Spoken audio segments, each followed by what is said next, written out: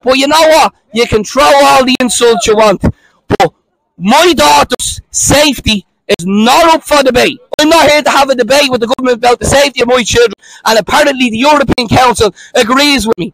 And now all the ministers have backtracked this week and said, yeah, yeah, we're going to crack down on that.